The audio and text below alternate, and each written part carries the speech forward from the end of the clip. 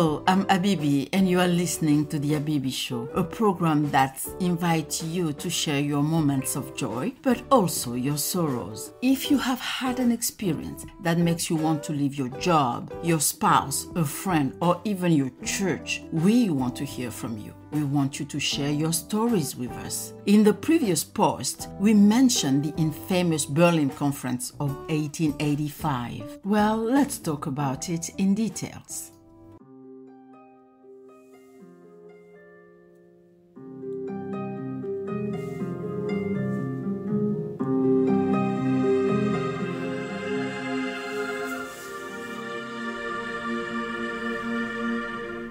The beginning of the actual problems of the African continent started in 1380. The King of Aragon had just offered the Catalan Atlas to King Charles V of France. On the map, the portrait of the wealthiest African leaders in history of the Malian Empire in West Africa. Mansa Musa holding a gold nugget symbolizes the wealth of an entire continent. It triggers the appetite for the conquest of Europeans. Then, Europe discovered that it was on the margins of the largest trading area of the time in Africa. In the 15th centuries, the Iberian Reconquista marked the beginning of the Western era with the Portuguese, who were the first to extend their domination, especially on the seas. This enterprise is possible thanks to the invention of the caravel, which will allow the Portuguese to bypass Africa and find a new route to India after the Ottoman took control of the eastern part of the Mediterranean Sea, marking the travel for all Europeans. During this adventure, these Portuguese navigators will stop on the coasts of the Black Continent. These stopovers will become counters, and later, all the powers of Europe will adopt the Portuguese model. For centuries, they traded slaves on the coast before turning their attention to what lay beyond. At the beginning of the 19th century, the objective was to develop commercial exchanges, geographical discoveries, anthropological studies, or even missions of evangelizations of populations to facilitate colonization. In the middle of the 19th century, while exploring the lands and navigating the rivers, the European powers discovered that the continent was richer than they thought, especially with the discovery of the diamond mines of the Transvaal, which further stirred up the European appetite for conquest. Quickly, a frantic competition for the control of the territories begins in Africa. In 1830, France occupied Algeria and the interior of Senegal. France is ahead of the Italians in Tunisia in 1884. It takes possessions of the current Republic of Congo and occupies Guinea. In 1882, the United Kingdom seized Egypt, a province of the Ottoman Empire before occupying Sudan and the current region of Somaliland. The same year, Italy announced its intention in East Africa, an area covered by the British and the Germans. The latter also established protectorates over Togo in 1883, Cameroon in 1884, and placed under the protection of the right of Southeast Africa. In the Central Africa, territorial quarrels between French, English, Portuguese, and Belgians will be the last straw it was in this contest that in 1884 the Berlin Conference was organized to regulate colonization. To truly understand the direct causes of the organization, we must travel to Central Africa in 1879. It was at this time that the King of Belgium created an international association of Congo, which had economic objectives. However, it remains in contact with the International African Association, which was also created by Leopold II three years earlier, and himself offered philanthropic ambitions. The American explorer Henry Morton Stanley was subsequently commissioned to travel to Congo with the secret mission of establishing a state, the future Congo Free State, of which he will be the head on behalf of the International African Association. At the same time, France confirmed its interest in the region. Officer Pierre Savorgnan de Brazza traveled up to the Congo Basin to found Brazzaville in 1881. Portugal relied on previous treaties signed with the Congo Empire to claim sovereignty over the same territories, especially seeing the British make agreements with indigenous chiefs in the coastal regions. It follows an Anglo Portuguese negotiation which evolves favorably when the English learn in 1882 the signature for the benefit of France of the treaty between Savorgnan de Brazza and Makoko, king of the Batekes, on the right bank of the Congo River. England therefore chose to favor Portugal, which was less dangerous than France, and on February 26, 1884, its government signed a treaty recognizing Portuguese sovereignty over the entire mouth of the Congo River. France opposes its agreements. King Leopold II also intervenes. Otto von Bismarck, the most powerful man at that time, saw in this series of incidents an opportunity to assert himself even more in Africa and decided to organize the Berlin Conference on November 15, 1884. The conference was therefore intended to regulate the division of the continent to avoid conflicts between European powers. Diplomats who did not know Africa because they have never set foot there will nevertheless decide its fate. Nothing was spared to attest to the international character of the conference, which explains the very high number of invited countries we found in Berlin a first circle of countries more directly concerned. The United Kingdom of Great Britain and Ireland, Portugal, France, Germany, to which must be added Belgium, the Netherlands, the United States, then a second circle of countries intended to confirm the general assent. Austria, Hungary, the United Kingdoms of Sweden and Norway, Denmark, Italy, the Ottoman Empire, and the Russian Empire. The Europeans forgot to invite African leaders to this event, which will forever seal their fate.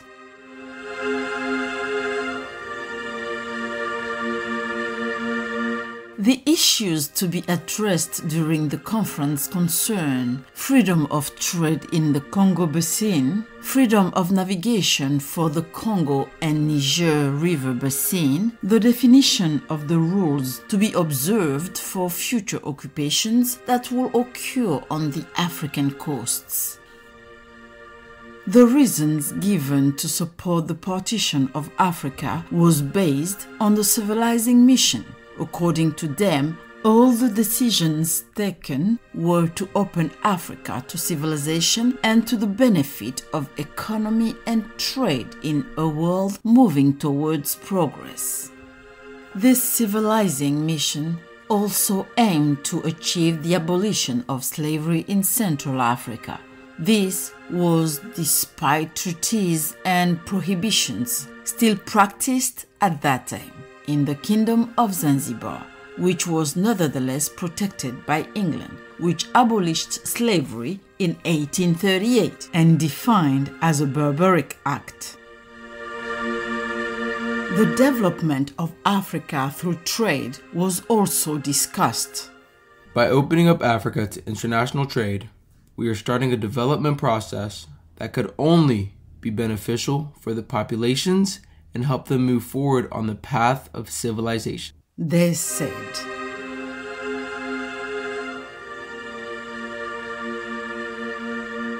Jules Ferry, chairman of the board at the time in France, will even rely on such foundations. However, such an overflow of humanism and desire for assistance does not stand up well to the examination of the fact that followed the conference. In Berlin, the question of dividing Africa into delimited and administrated zones was explicitly not on the agenda of the conference. It did not figure in the final acts even though it haunted people's minds and occupied an essential part in the corridor conversations that accompanied the official sciences. The British, in particular, had no interest in establishing borders or politically controlling these territories. Their idea was quite simple to trade with the natives and to control the trading areas. It was easier and more convenient. Exercising direct administration will have been a burden. The first state whose borders will be defined during the conference is the Greater Congo. King Leopold II of Belgium received on a personal basis two and a half million square kilometers, which will later become the Congo Free State. In the northwest of the state, formed on the right bank of the Congo River, more than 500,000 square kilometers belong to France. France is also assigned the interior part of Niger, whose delta is controlled by the United Kingdom. Portugal abandons its claims to the north of the Congo estuary except for the enclave of Cabinda. We are on February 26, 1885, the last day of the conference.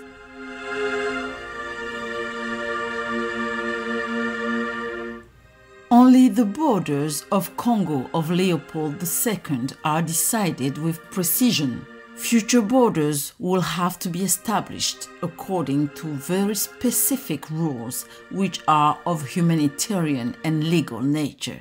Concerning the humanitarian field, the signatories of the final act of Berlin are committed to abolishing slavery in African territories establishing freedom of conscience, banishing barbaric customs, namely humanitarian sacrifices, bringing to Africa the benefit of conscience. Then we have the legal domain, which stipulates that any colonial power installed on the coast has the right to the interland until it encounters another power or a natural obstacle. Any occupation of a territory by power must be reported to the other signatory countries of the Berlin Final Act and must be occupied militarily.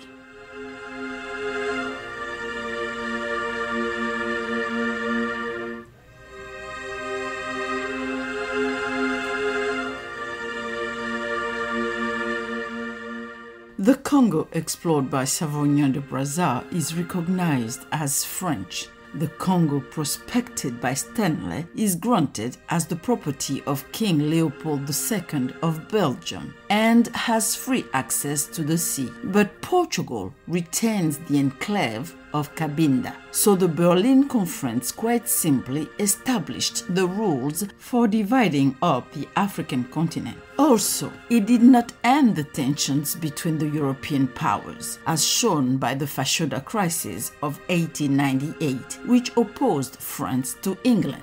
Some nations will even later use their power to violate the Berlin Treaty. This is the case of the United Kingdom. Indeed, the Portuguese government has presented a project known as the Rose Card, in which the colonies of Angola and Mozambique were united on an east west axis. The countries gathered, with the exception of the United Kingdom, were ready to endorse this project.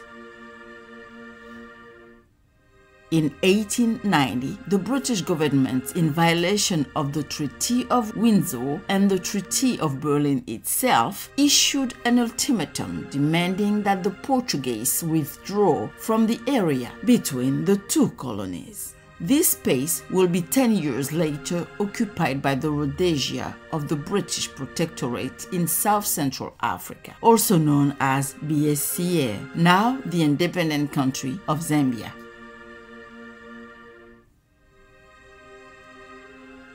After the Berlin Conference, many other treaties will be signed, especially to define the limits between the colonies. 87% of the current borders are the result of treaties signed between 1890 and 1912. Africa was divided on paper without taking into account the sociological realities on the ground. It was carved into territories with artificial and arbitrary borders which divided divided and still divide Africans. This balkanization has destabilized the ethnic tribal balance and fueled the tensions that still cause many fratricidal conflicts.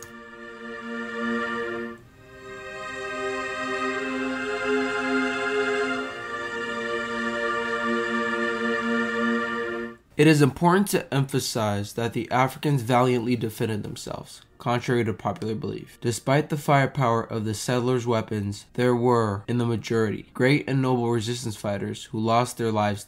Black youth must know this and remember this forever. Our ancestors fought for their freedom, for their independence. They succeeded by their tenacity in making the Westerners give in, even if ultimately it was not total independence because our African countries are still under Western domination. So, our generation and the one that will follow must tell themselves that if our people have succeeded in doing so, we must not give up in the face of adversity. Today, our chains are mental, financial, religious, historical, and so on. But it is up to us to do everything possible to free ourselves from it in every possible way in order to regain our former position. Let's put our hope in ourselves and hold our heads up high, and we will rise up stronger. Courtesy of Onombe Guilombi and Afrique Media. That's the end of the Abibi Show. Today's topic was about the Berlin Conference. If you enjoyed the podcast, share it massively. Our next episode will probably be on the disastrous consequences of the Berlin Conference. But in the meantime, remember to subscribe to our channel, activate the notification bell so you won't miss any of our next episode. I'm Abibi Follow me on facebook.com slash ABIBIE123. Also, remember to send your comments and topic requests to abibi1 at gmail.com. See you and remember to tell a friend to tell a friend to tell a friend about the Abibi Show.